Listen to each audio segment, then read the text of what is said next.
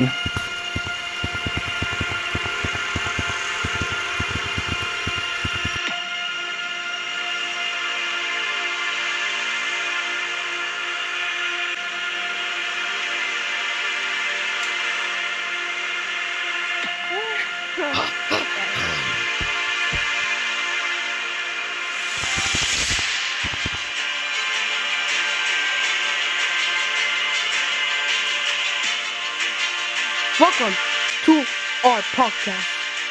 Last night at 2.40, a accident happened at the Gorilla Tech Lab. Two or one llama monkey escaping and trying to kill a lot of people. This is the picture.